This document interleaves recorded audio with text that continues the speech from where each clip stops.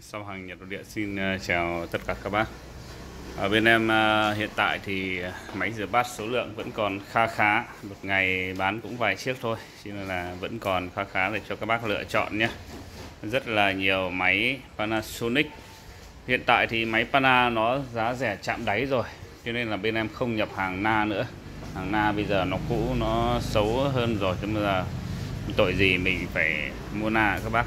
Mua Panasonic, mẫu mã đời mới, năm sản xuất cao hơn, nhiều ưu việt hơn, đặt vào bếp nó sang trọng hơn.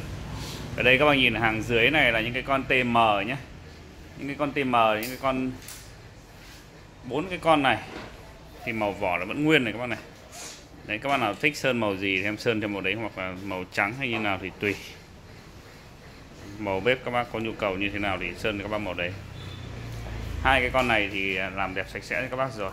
Một con TM5 Đấy, em bán đồng giá TM356 em bán 2 triệu 9 356 thì tính năng nó cũng chả khác gì nhau đâu ạ. Giống nhau hệt chênh nhau một năm sản xuất thôi.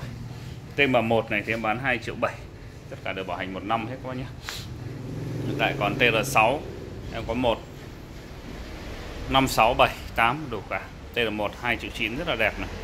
TR6 còn khá nhiều. TR6 thì là 2 à là 4 à 3 triệu 9 TR6 3 triệu 9 các bác nhé. Đấy, TR5 3 triệu rưỡi. Có con hình thức kém hơn thì em bán 2 triệu rưỡi à 2 triệu 9 TR7 4 triệu 4 Đấy, con nào hình thức kém hơn thì cũng lại bán rẻ hơn. TR8 6 triệu rưỡi. Tất cả đều bảo hành một năm chưa phí vận chuyển chưa biến áp. Các bác nào có nhu cầu mua máy rửa bát thì thời điểm này giá nó rất là rẻ nhé. Giá siêu rẻ luôn. Các bác alo cho em. Alo là mua được thôi. Chào các bác.